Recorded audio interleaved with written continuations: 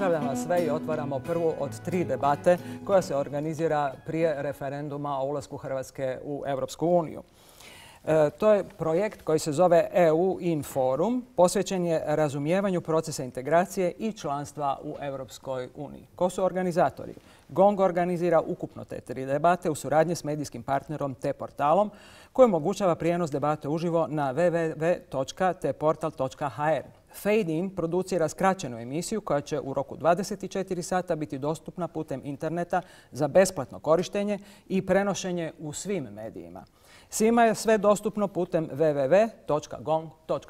Ja se nadam da ste s tim već upoznati.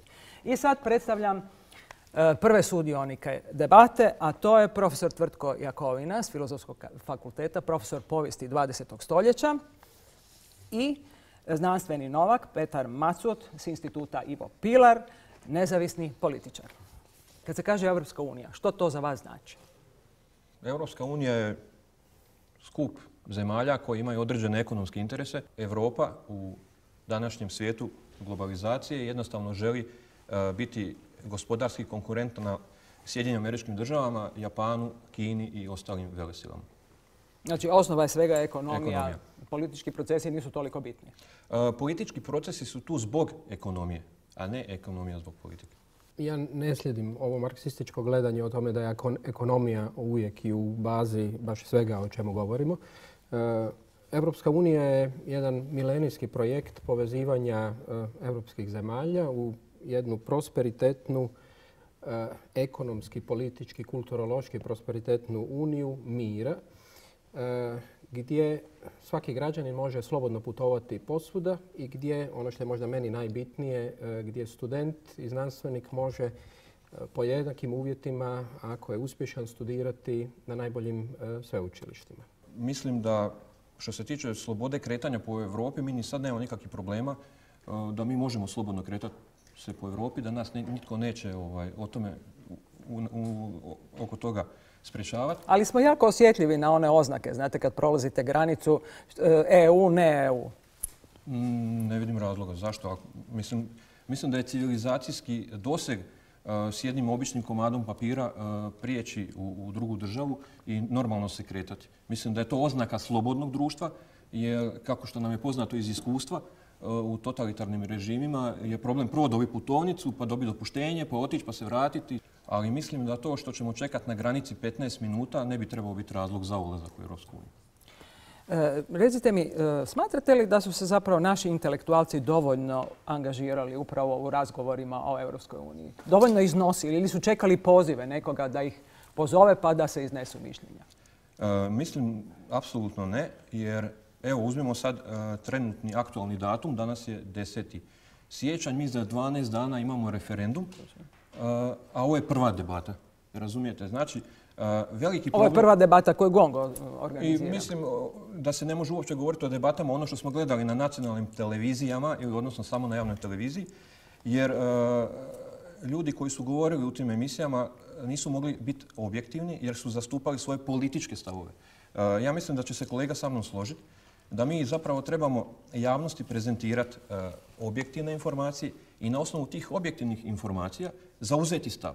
Ali ja smatram da da prava objektivna informacija uopće u našem društvu nije donešena i da mi koji smo protiv i da oni koji su za su zapravo deficitarni u svojoj odluci bilo za, bilo protiv. Jer jednostavno e, objektivna informacija nije ulazak u Europsku uniju, nego je objektivna informacija ta da mi odlučimo na osnovu te informacije jesmo li za ili jesmo li protiv. U tome je problem.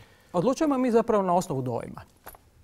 Naravno, uglavnom, velikim dijelom. Mislim. I ovo što se događalo sa informiranjem oko Europske unije sada nije bitno drugačije od ukupnog načina informiranja u ovoj zemlji. Sjećate se možda koliko smo e, govorili da je Haški sud i Haško sudovanje zapravo nedovoljno dobro e, praćeno, pa zato su iznenađenja bila sa određenim presudama.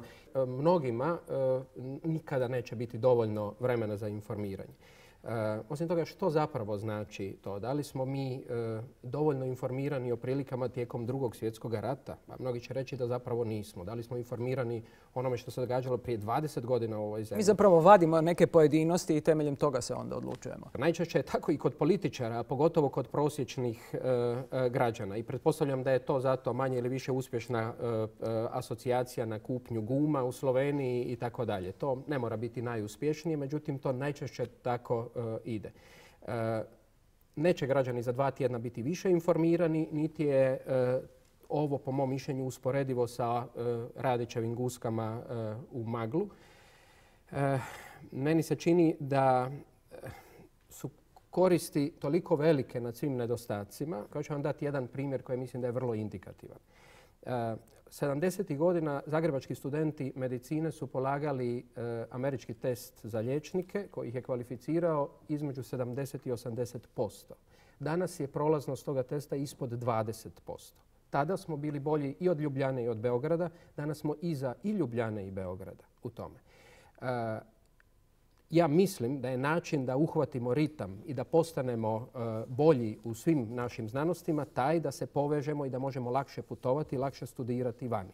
Ja govorim sada kao netko ko radi u visokom školstvu, pa možda zato vučem na tu stranu. Ali to su koristi koje mislim da možemo imati. S druge strane, smatram da je strah od Unije prije svega dolazi od ljudi koji se boje što će se dogoditi u velikom svijetu dolazeći također iz znanosti, ja vrlo dobro znam koliko naših znanstvenika ne komunicira, ne putuje, ne odlazi van ili ne može komunicirati i ne žele putovati, ne žele se mjeriti sa drugima.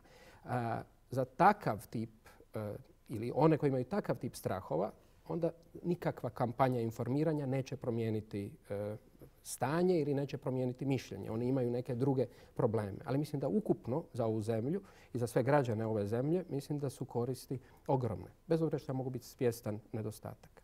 E, sad se najčešće spominje kratkoća vremena. Vi ste sami spomenuli 12 dana je do, do dana odluke. E, koliko je građane Hrvatske zanimalo i prije što se događa u EU? Odnosno, e, mi smo šest godina pregovarali, evo sad je došlo do toga. Koliko smo se mi sami interesirali za to? Gledajte, to vam je teza koju je nedavno iznio Neven Mimica koji je rekao da mi smo imali deset godina da se informiramo i šta sad hoćemo. mislim da je to krajnje ovaj, neozbiljno, osobito ako se uzme u obzir činjenica da mi još i dan danas nemamo sve relevantne dokumente prevedene na hrvatski jezik. Mislim da je Lisabonski sporazum preveden, ne znam, prošle godine izdan u nekom časopisu koji, složit će se kolega sa mnom, nije baš široko dostupan. E, tek nedavno, mislim čak jučer, da je e, otvorena internet e, stranica Ministarstva vanjskih poslova, znači jučer, i uopće se recimo ne uzima problematika toga referenduma. Kada biste pitali hrvatske građane zašto vi morate izaći na referendum, zašto se organizira referendum o ulasku u Europsku uniju, ja vam jamčim da 90% ljudi neće znati, možda čak i više.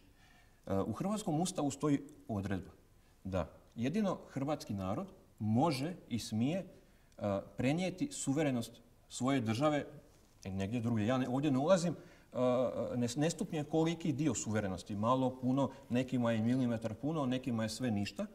Ali je činjenica da referendum ne proizlazi iz toga što hrvatske političare zanima šta hrvatski narod misli, nego iz jednostavnog zakonske prisile da hrvatski narod mora izaći na referendum da, da, jedino referendum je vaše demokratsko pravo da se izjasnite o Točno, ali je... To mora, točno, ali, Isto koji izbori. Vi imate e, dvije vrste referenduma. Imate savjetodavni referendum koji nije obvezujuć i imate ovakav vrsta referenduma koji je obvezujuća.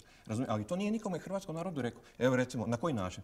E, velika većina hrvatskih političara će vam na pitanje e, da li Hrvatska gubi suverenitet reći da to nije istina. A E, sama činjenica da imamo referendum govori o tome da gubimo. Ja ne ulazim u to pitanje, mi nećemo biti robovi Europske unije. Nećemo mi biti e, totalno nesamostalna država. Ali je činjenica na, osnovu faktografije da mi gubimo jedan dio koliki ne ulazim, suverenosti. E, gospodine Jakovina, slažete se s tim gupitkom suvereniteta? Što nama zapravo suverenitet znači danas? Kad govorimo o tim vrijednostima, suverenitet se spominje. U nekoj analizi nedavno je bilo da našim građanima nije to pitanje suvereniteta bilo primarno kad se odgovaralo. Ja mislim da je našim građanima pitanje suvereniteta zastava i himna i eventualno tu i tamo koji povijesni simbol. To je pitanje suvereniteta kako ga vidi ovo što kolega kaže najširi e, sloj stanovništva. U svim ostalim esencijalnim stvarima mi smo davno prestali biti suverena e, zemlja. Dakle, mi malo toga posjedujemo i kako vrijeme bude odmicalo, bit će još i teže zapravo te stvari. Onda barem, ja mislim, da bi bilo dobro da sjednemo za zajednički stol i da pokušamo utjecati na e, ono i na one koji ovako i onako odlučuju o našoj e, sudbini na ovaj ili onaj način. I to se baš dogodilo za vrijeme onih vlada koje su bile najviše nacionalističke i koje su najviše se klele u nacionalni suverenitet. Međutim, u isto vrijeme je pitanje a kakav je svijet u kojem mi živimo i je li uopće moguće biti ne e, potpuno suverena e, zemlja i što to znači. E, kao netko ko se bavi hladnim ratom, mogu dati primjer iz suverene, barem od 70. godina dalje, potpuno neovisne Albanije, što je dakle mogući put. Samo je pitanje pod koju cijenu se onda takva suverenost može graditi. U isto vrijeme Hrvati su podobrazovano stanovništvo i mi do sada nismo se baš pokazali sposobni sami e, pokrenuti niti našu proizvodnju, niti izvesti neke druge stvari. E, kao što vidite i naša e, ta sveučilišta nova i tako dalje zapravo ne proizvode kadrove koji su bili sposobni ovu zemlju pokrenuti. Ja mislim da nas u kontrastu sa drugima da te stvari mogu se pojačati. U isto vrijeme brojne stvari od suvereniteta i u vanjsko-političkom smislu i u svim drugim smislovima nisu ugrožene u Europskoj uniji. Europska unija nastoji uvijek pronaći najmanji zajednički ili nekakvu točku gdje mogu se naći svi. Jesu li naši vrijednostni sustavi slični onim europskim? Ja mislim da ne da su slični, nego da su gotovo identični, a oni su licemjerni. Znači, i naš, e, naš vrijednosti... Da se i mi i Europa onda mijenjamo. Točno, mi, smo zapravo, mi se zapravo ponašamo na način na koji nas Europa uči ponašati. E, niz je primjera koji to potvrđuju. Recimo, Europska ekonomska zajednica u ono vrijeme je mirno promatrala e, ratna događanja na našem prostoru. Sustav europskih vrijednosti je zapravo identičan onome što bi svaki normalan čovjek u Hrvatskoj želio. Pa mi svi želimo efikasno pravosuđe. Želimo prava, slobode. To svi mi želimo. Samo je pitanje E, da li je europska praksa e, identična s onim što oni proklamiraju. Na primjer, e, poznato vam je da je Europski sud za ljudska prava donio negativnu presudu protiv Hrvatske s jednim sucem razlike, da mi u Međimurju segregiramo romsku zajednicu na način da smo ih sve stavili u isti razred. A taj isti Europski sud pravde, meni nije poznato, možda kolega zna, nije donio nikakvu rezoluciju vezano za Sarkozijevo deportiranje Roma u, u, Rumunjsku. Tako da mislim da, da ista mjerila nisu, dakle licemjerni su. To može biti slučaj zašto bi bilo bolje biti u Europskoj uniji za stolom nego dopustiti da druge institucije odlučuju o Hrvatskoj, a odluke se tiču nas. Ja nisam rekao da je to negativna presuda. Presuda je u redu, ali je, ali je praksa neujednačena.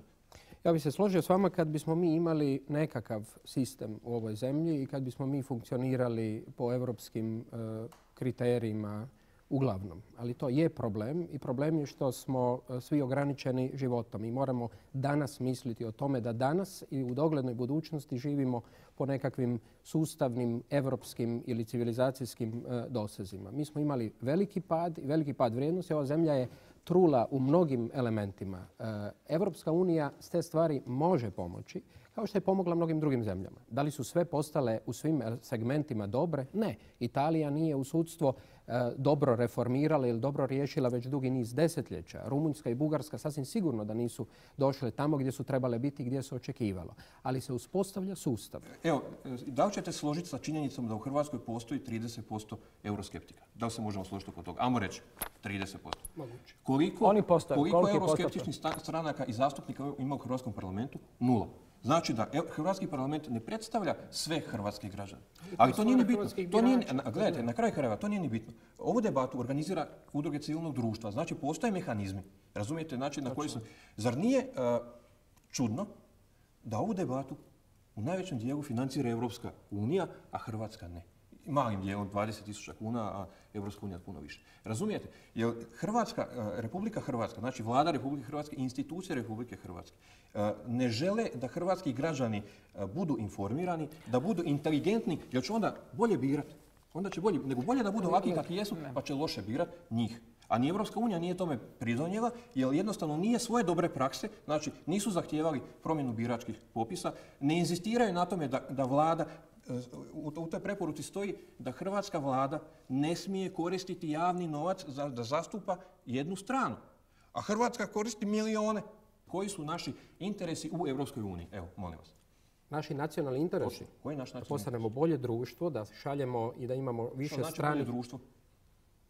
obrazovanije, bogatije, pravno sređenije, katastarski sustav, sređenije, popisi biračkih spiskova da jel budu imate vi neki dokument koji to dokazuje? Vi to govorite kao intelektualac, sam- ono što, bi, što biste vi napravili, da ste vi predsjednik Republike Hrvatske ili predsjednik vlade, vi biste zastupali te vrijednosti. Ja vas pitam, recite mi dokument Hrvatske vlade i Hrvatskog sabora u kojem je to izrečito nabrojano kako ste vi nabrojali. Ne postoji nijedna strategija ulaska Hrvatske u Europsku uniju koja bi rekla Republika Hrvatska ima interes ulaska u Europsku uniju zato što želimo taki i taki proračun, želimo toliko i toliko visoko obrazovani, želimo to. Ne postoji, ta- to vi govorite sa stajališta intelektualca, ja to razumijem i poštujem i- to su na kraju krajeva i moji ciljevi. Ja želim da Hrvatska bude bolje društvo, ja želim da Hrvatska bude visoko obrazovana, da bude e, kulturno i svako, svako drugo društvo. Ali je pitanje ovo, da li, je, da li se dogodila strukturalna promjena hrvatskog društva i da li će se ona dogoditi nakon ulaska u Europsku uniju? Pitanje je koja je alternativa. E, gledamo na ukupni je, to kontekst. što vi meni govorite, to vam je HDZ-ov diskurs.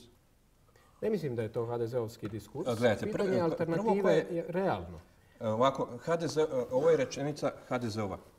Ulazak Hrvatske u Europsku uniju nema alternative. To je njihova rečenica, to je, njihov, e, to je, to je zapravo svjetonazor.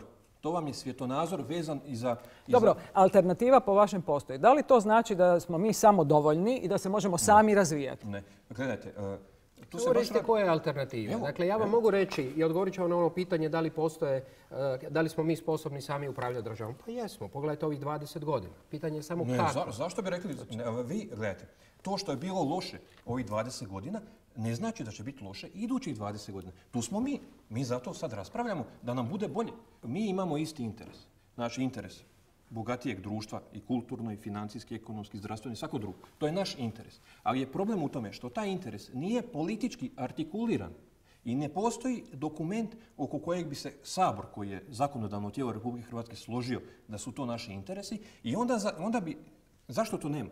Zato što bi onda postojao kriterij prema kojem bi mi mogli procjenjivati nekoga u vlasti da li je dobar ili loš. To vam je otprilike kao da kažete da svi imamo Bibliju, pa je pitanje Ne, to zašto ljudi ne slijede Bibliju i ne ponašaju se prema tim načelima. Nijedan dokument kojega imati- Sabor ili vlada donese neće odlučiti kakvo će društvo biti. Ne, Postoje mehanizmi, zna se kako država me funkcionira. Ovo što se govori recimo da, da, da u Hrvatskoj postoji konsenzus oko ulaska u Europsku uniju. Točno, posto- postoji konsenzus političkih elita. I normalno da svaka vlada koja dolazi mora biti za ulazak u Europsku uniju. Razumijete?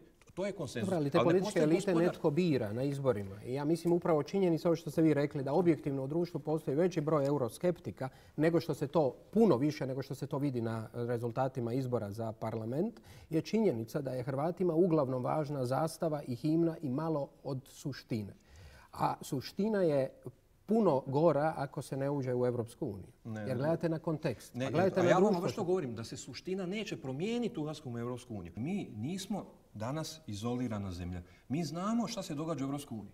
S time što ćemo mi sjest za isti stol. Pa mi smo i sad bili za istim stolom jer se znamo koje su rezolucije, šta se događa, koji su problemi. Pa mi A znamo... niste mogli odlučivati. Točno. Mi, a, Pa ja gledajte, mislim da je bitno da možete odlučivati o nečemu. Gledajte, u Europskoj uniji, možda ću vam razbiti ovaj, vaš stav, ali najmanje je demokracije u Europskoj uniji. S- Mislim, da mi znamo ko odlučuje u Europskoj uniji. Merkozy, jel imate jednu složenicu Merkozy i zanimljivo je da je prvo Mer- Merkel pa onda Zi, jel? Odnose Europske unije, Njemačke i Francuske. I imate Britaniju. Razumijete? Uh, uh, Da li itko tko je realan može reći da Europska unija nije u najvećem dijelu zapravo leno Njemačke, Francuske i Britanije. Oni imaju svoje interese, oni imaju svoje. Normalno da mi, ne- mi malo trebamo njima, malo ovima. Zar mi imamo neko, zar mi ćemo moći sa 12 zastupnika imati utjecaj? Kao i Litva, Latvija, Estonija i ne znam, i, ostali Pa Estonija bi nam mogla biti jako dobar primjer. Estonija bi nam mogla biti jako dobar primjer upravo male zemlje, članice Europske unije koja sama rješava krizu. mi, a Odličan primjer. te druge zemlje to trpe? Zemlje koje su bile e, u ratu s Njemačkom do jučer i tako Oni imaju neke svoje interese. Gledajte, ja, to što je činjenica... Ali zašto imaju interese ako su leno od nekih drugih zemalja? Gledajte, možda, možda su te mrvice što padaju sa stola njima dovoljne. Možda misle da nisu sposobni za svoju državu, kao mi. Možda misle, ej, pa nećemo valjda opet da nam vodi jedna... Gledajte, jedna Velika Britanija, za Veliku Britaniju ne možete reći da je nesposobna država da vodi svoju državu. Odnosno, e, oni jedino što nisu vezani na taj način monetarno, a to nemaju, uh, nemaju euro. Pa nisu ga uveli. Ali, nikad ga, ali oni nikada neće izaći iz te Europske unije. ne znam ja, pratite medije sigurno, vidite da ima vrlo veliki problema postoje. I sad se najavljuje Zamislite, referendum u Velikoj Britaniji vezano za ostanak, odnosno izlazak u Europsku uniju. Kad pogledate Europsku uniju, znači vidimo da e, kolaps Grčke, vidimo događanja u Španjolskoj, Portugalu, Irskoj i ostalo. Dosta je neobično da kažete da je sada Grčka u gorem situaciji kao članica Unije nego da nije slučajno članica Unije.